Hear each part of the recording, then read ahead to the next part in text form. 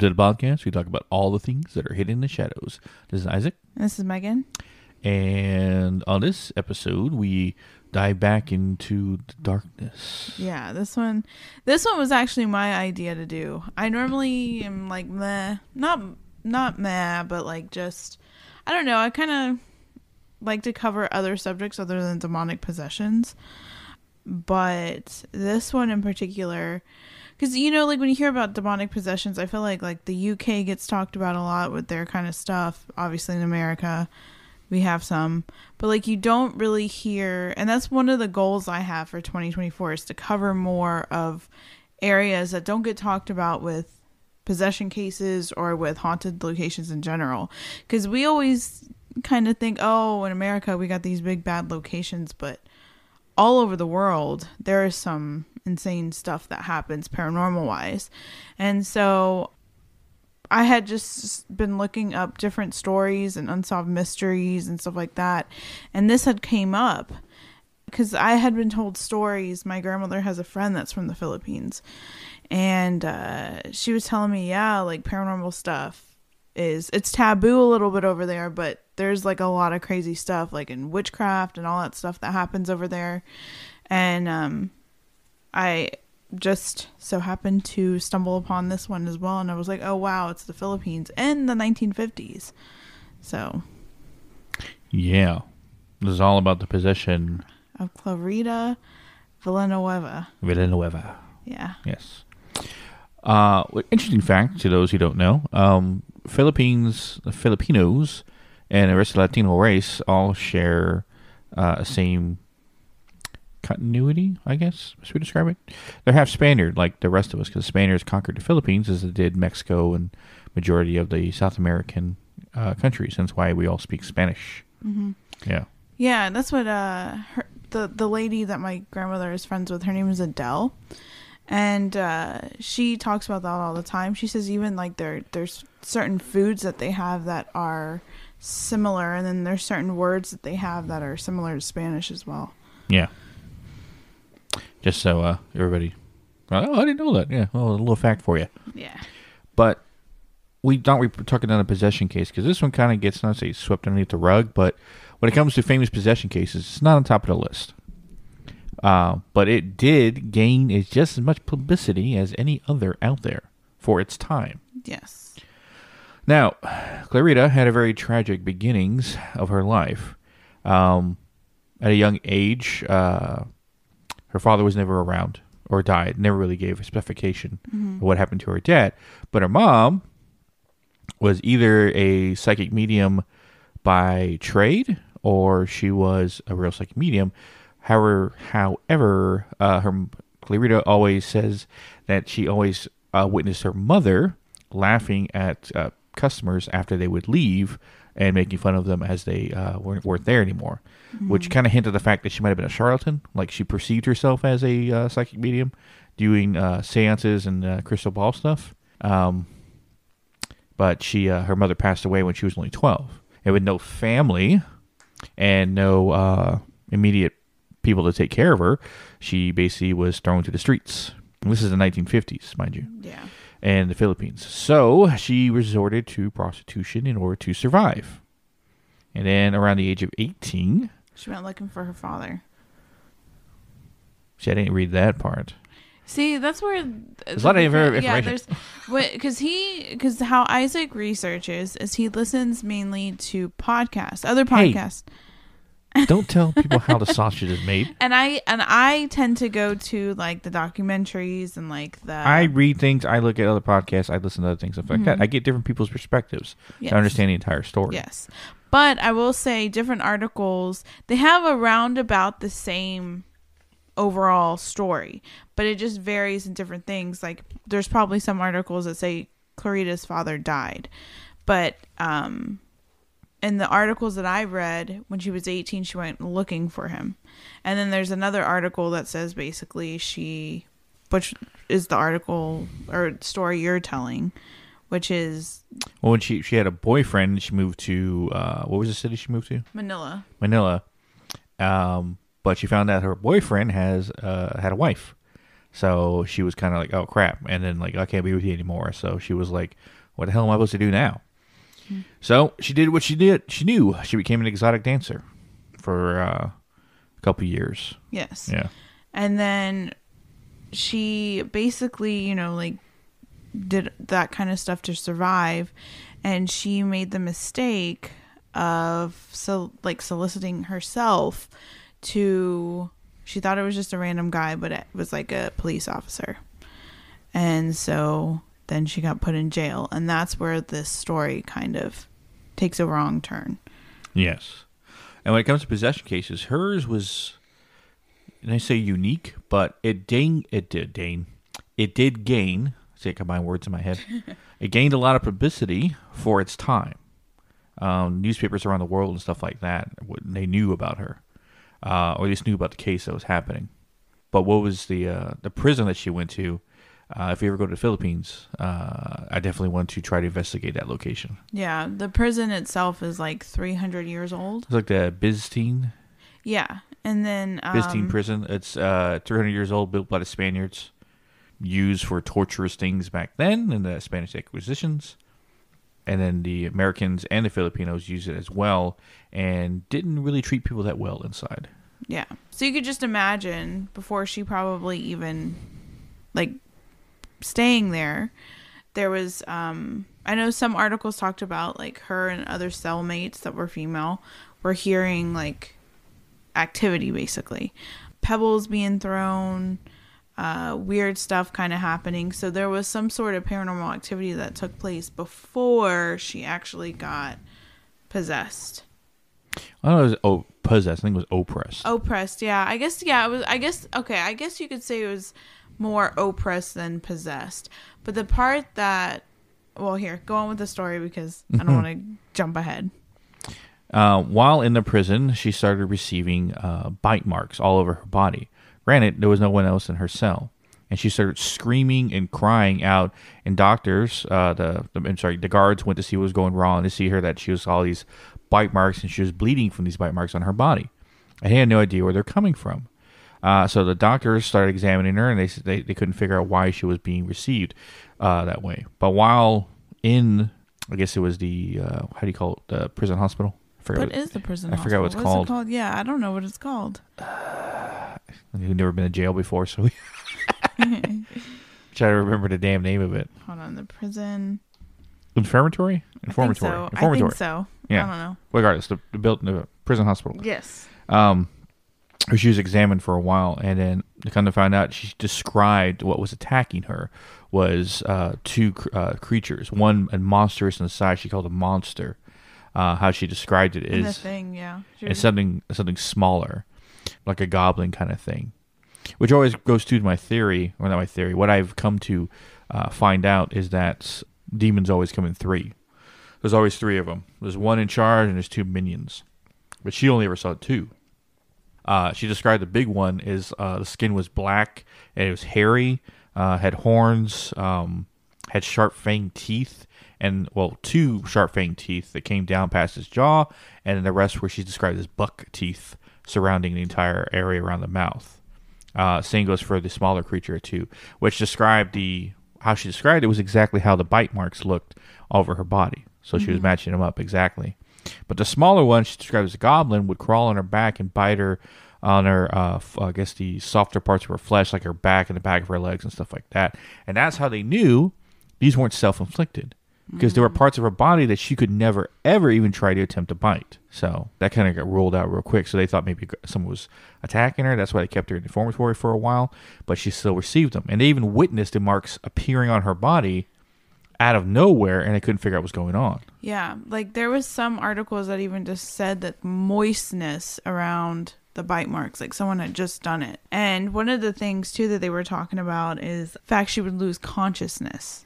Right? She would like black out every now and then and then lose consciousness. And I always go back to um there was one person that we knew that had been had to get exercised. And I remember a long time ago I had shown her because I had like this random like vision of this place, and I sh- I remember showing her, And she goes, Oh, that kind of looks like when I would lose consciousness. And I was like, What are you talking about? She goes, Well, you know, like when you dream, right? When you dream and you go into like the astral plane, the realm, whatever you want to say, like dream world. She goes, That's exactly how it was it was like when I would lose consciousness according to other people. I didn't know I was losing conscious consciousness. I thought I was asleep. I was awake one minute and then asleep like I had dozed off. And but other people had said no, I had blacked out and I was still awake, but I was essentially I had black solid black eyes and I was doing things that obviously weren't myself. So she was saying, yeah, like when basically whatever the thing that was demonically attached to her came through um, and basically had control over her vessel, it was like she was in lost consciousness and was in dream world apparently. Um, but she says it's not a dream world like the nice side of the astral plane. She says it's like burnt ash and lava and like smells bad, like foul, like sulfur there. And she said she would just literally sit there.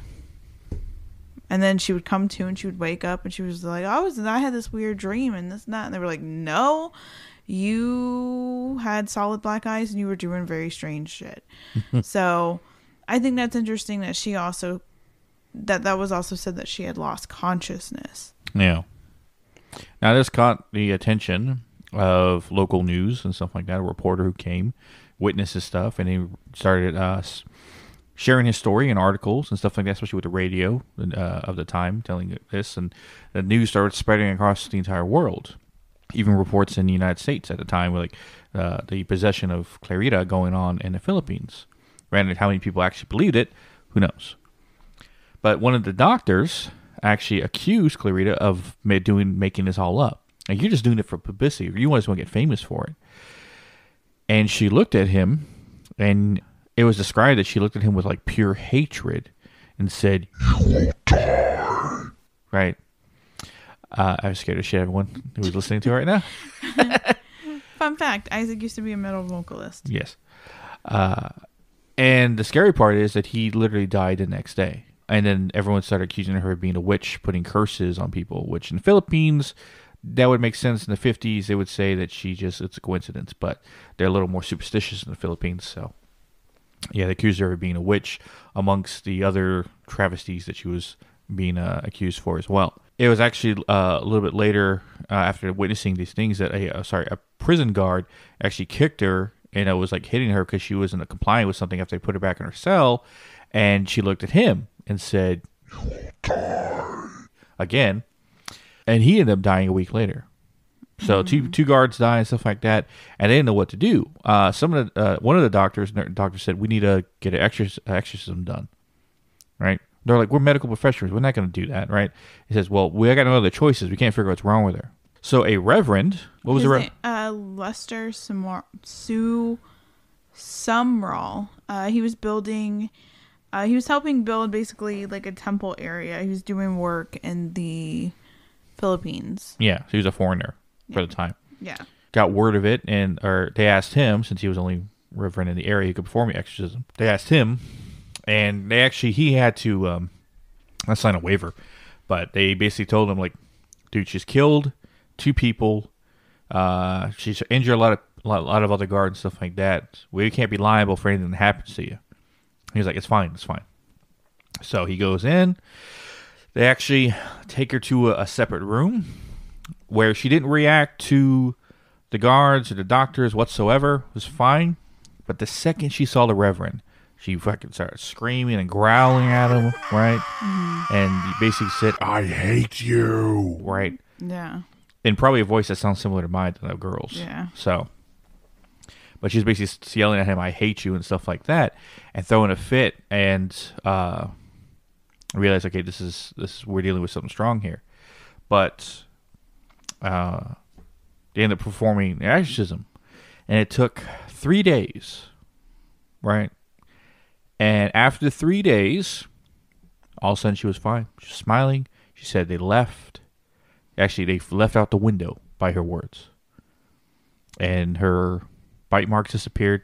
Granted, she was still incarcerated, mm-hmm. but her possession was done. Yeah. And she ended up having a pretty regular life. She ended up getting out, marrying a guy, and having a family and everything else, and everything was good. So yeah, Now, let's dissect this. okay, dissection. The story of Clarita is very short, right? Mm-hmm. From how it started, how it ended, and all the facts in between. There wasn't a lot of information of witnesses or anything like that. A lot of information was shared. Granted, it's the 50s in the Philippines, so I don't know how much information you're going to get. I think it's interesting they didn't try to because you think about in the 50s and I'm sure if it was in America it was probably everywhere as well. You know the whole like if if anything is wrong with you in the asylum, like throwing you, locking you away in like a crazy house. I mean, wonder if this prison had its own asylum And I, but that's what I didn't like. Um, there were psychiatrists that tried evaluating her and tried tried getting something, but they were even stunned at the fact of the bite marks just showing up. So I just find it interesting that it was like in the fifties, and it was like for sure people were like, there is something possession, something with this woman. Well, luckily the doctors were not so narrow-minded with the idea of science and uh, science and medicine that they decided to reach out to another form of healing, which was an exorcism. Mm-hmm. Right in America, I guarantee at the time they might have not even even attempted it, even with all the signs of the weird shit going on. Mm-hmm.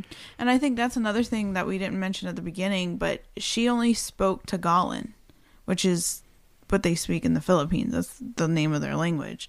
She only spoke that, but when she was possessed, she also was able to speak English. and Latin and several languages. Yeah, and Yeah. that's one of the telltale signs.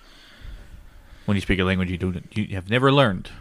I, and I, I wonder if because it was such a short, like almost oppression, if because you know you hear stories and it's like months and a long time of like basically um, everything kind of like wearing you down. Even for people that are just like low vibrational, it still takes a while.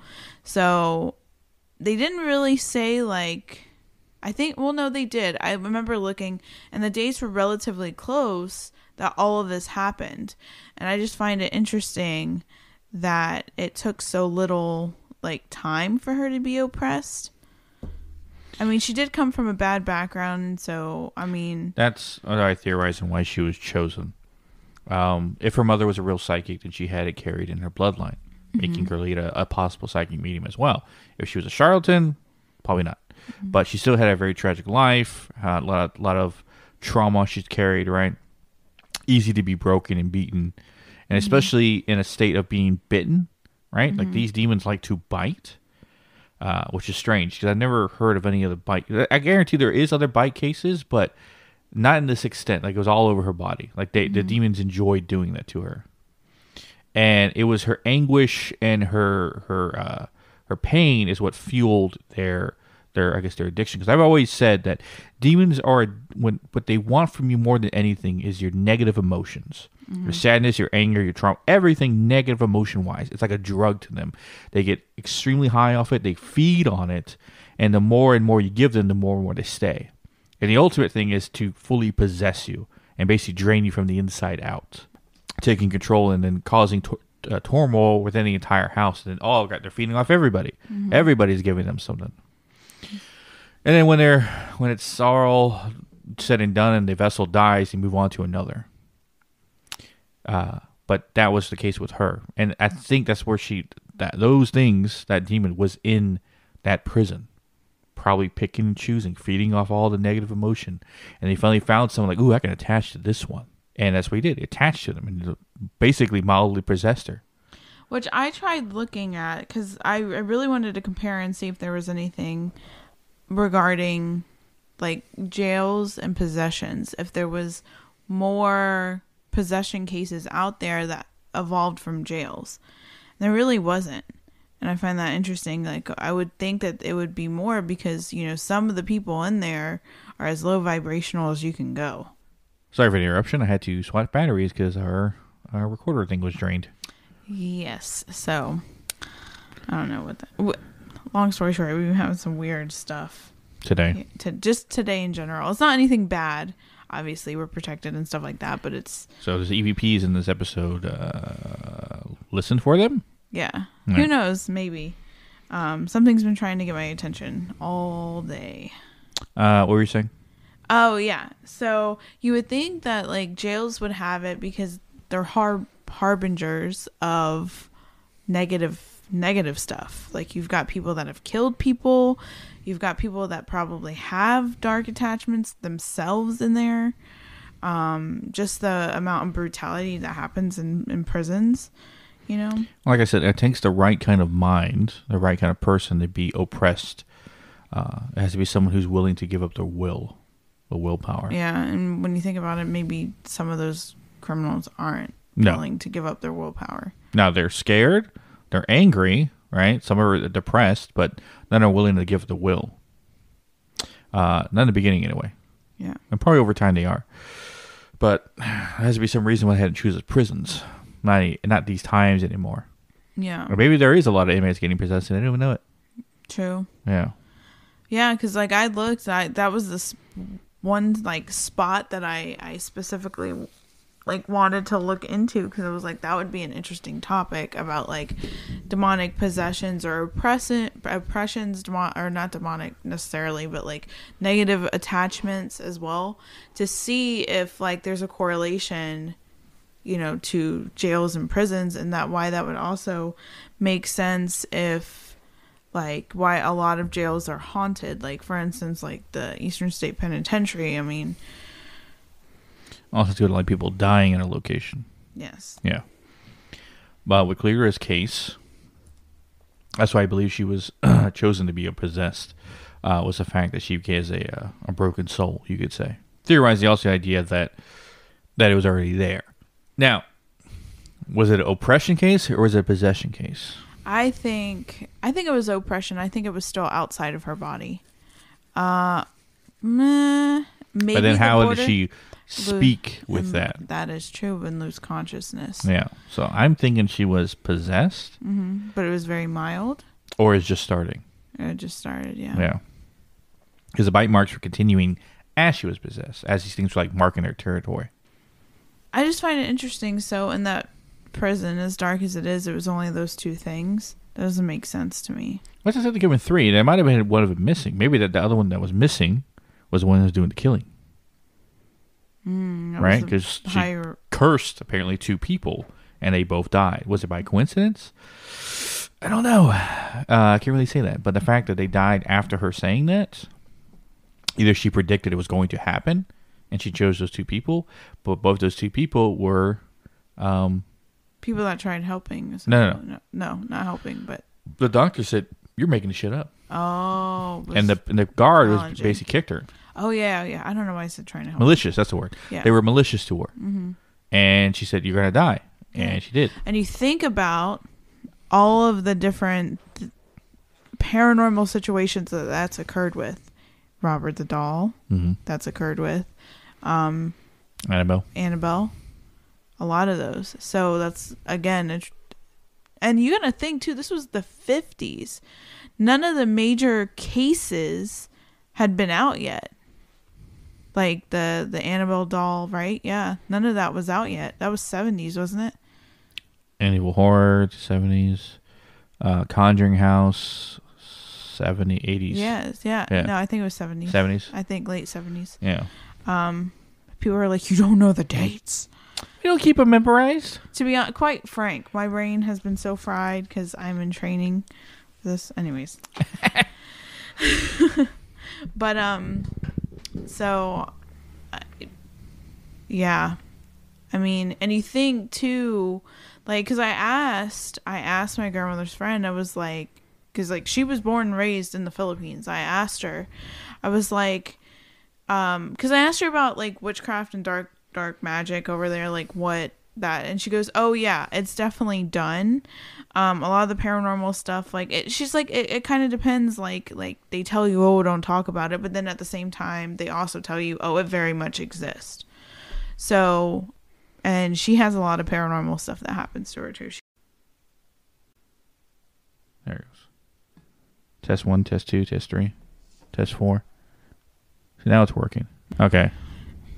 For anyone listening, we just had this damn thing we record on say data full, right? Which we didn't fill it up. Battery died again, and then it said kept doing this corrupted like uh, data write error thing, which you've never seen before. Uh, and now the battery's almost dead again. And it wasn't until I like pushed protection energy that we were able to record. So listen, I don't know. I'm kind of excited to edit this one because Yeah, something is really trying. Right, we've had things in the episode. We have episodes in the past that have pe- things have tried to stop it from getting out, but this one seemed very adamant about not yeah, this out. is probably the worst. So, uh, before we go any longer than we need to, um, I think uh, one of my final things to say about this case is what we would have done in such a situation, right? For anyone listening to this episode and stuff like that, first episode you ever listened to from us, uh, I would say go listen back to Shadow Walker episodes one through six. So I'm going to explain my ability again, and then listen to Megan's. Well, Shadow Walker part five and six kind of explain about Megan's abilities as well.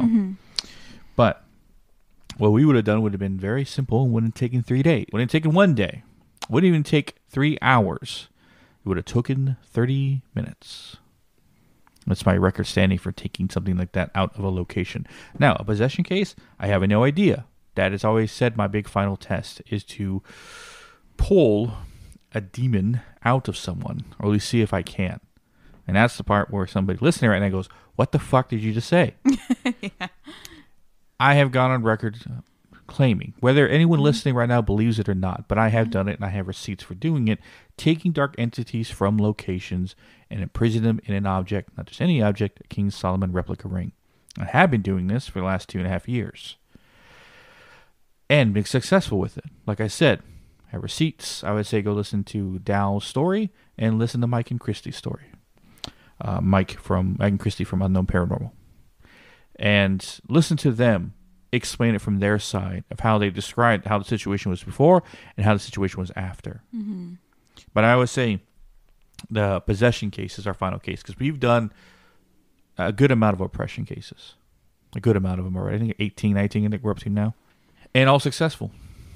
And uh, it takes sometimes it takes one to two tries, but after that, usually no. Sometimes we miss something the first time around.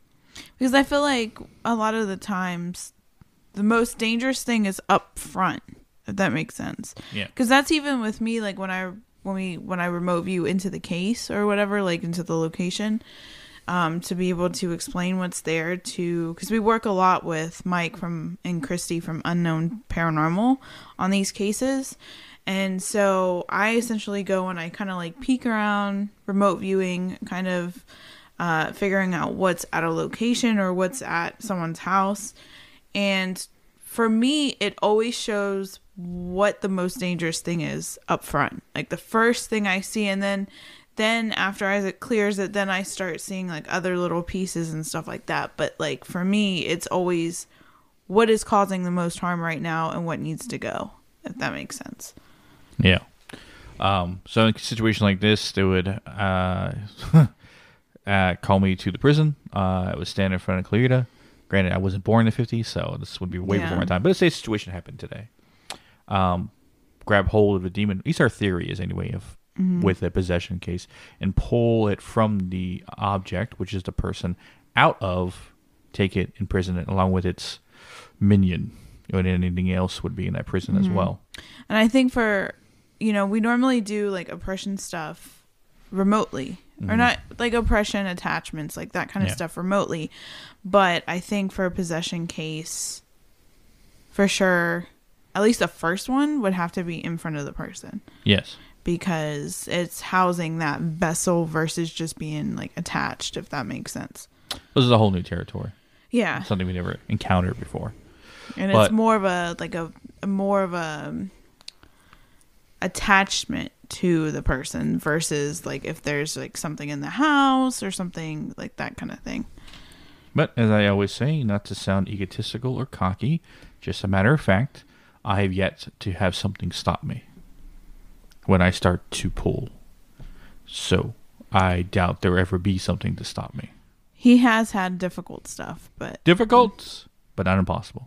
yeah so yeah, with that being said, I thought that was interesting because, you know, with a lot of the other possession cases, you know, there's like grounds for saying it's like a hoax and stuff like that. Almost every possession case I think that they talk about, there's the other side to it, which says it's a hoax. It's it's more of a mental issue.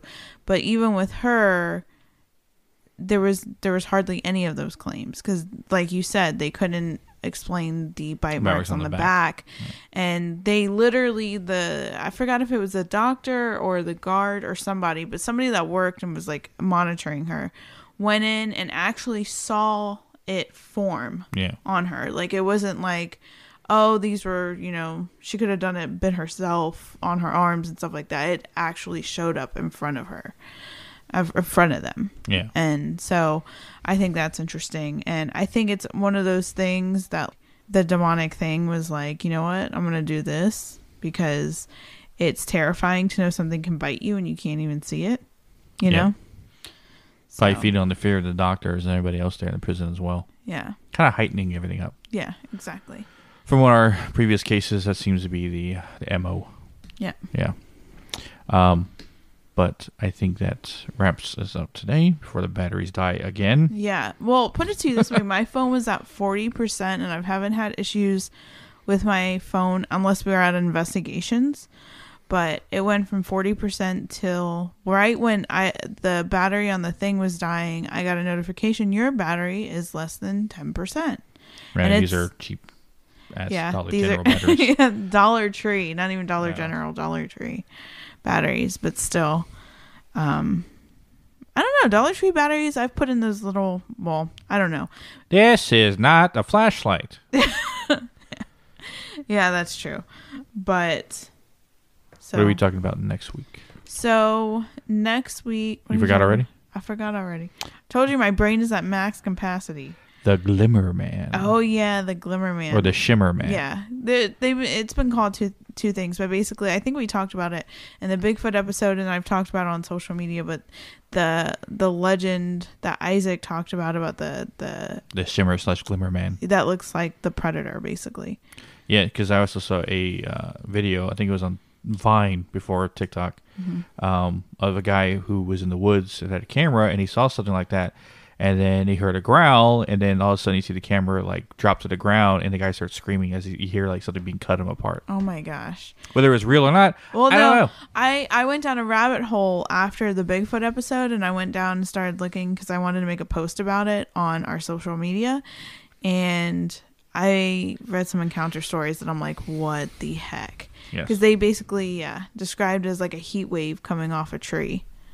Yeah, it's like very predator esque. Yes. Um, but yeah, look forward to that next week. Um, also, fun fact: if anyone listening, I was on a podcast recently.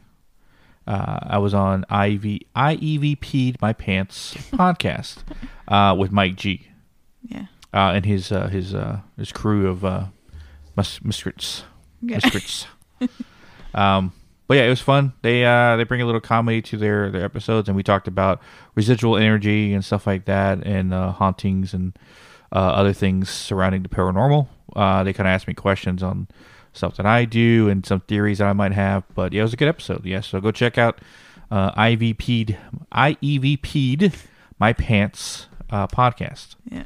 Uh, it was really good. You listen to it, find it anywhere you find podcasts. Yeah. Um, so, as for us, you can catch our socials at um, Hidden in the Shadows Podcast on Instagram, Hidden in the Shaw 6 on X, Hidden in the Shadows Pod 2 on TikTok, or links to all social media. And always you can listen to us at hiddenshadowspodcast.com. And if you're dealing with any kind of uh, cases or dealing with things in your home and need help, uh, easily reach out to us to Hidden in the Shadows Podcast on Instagram or Hidden in the Shadows Paranormal on Instagram as well. Message us through there, email us through the website, however you feel that you can contact with us. But no case too small, no case too big that we can't handle. Yes. But as always, we'll catch your weirdos in the next one. Yeah.